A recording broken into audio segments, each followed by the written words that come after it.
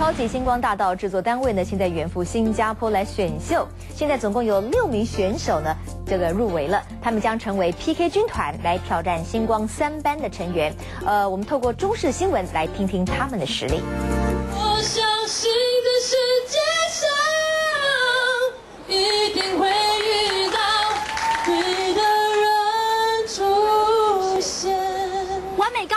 现场热情掌声。二十四岁的新加坡人黄靖伦，除了歌声好，还擅长模仿。